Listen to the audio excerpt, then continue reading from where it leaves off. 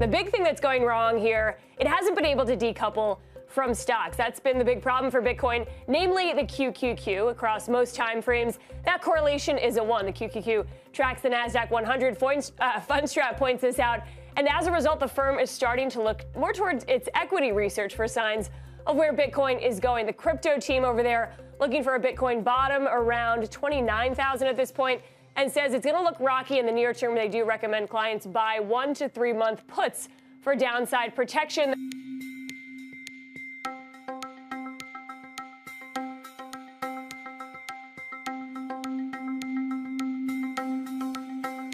There's two things going on. Number one is that it's trading like a risk asset. So if you look at the 30 day rolling correlation of Bitcoin and the NASDAQ 100, it's about 77% right now. That's about the highest we've seen, but almost all year it's been above 70%.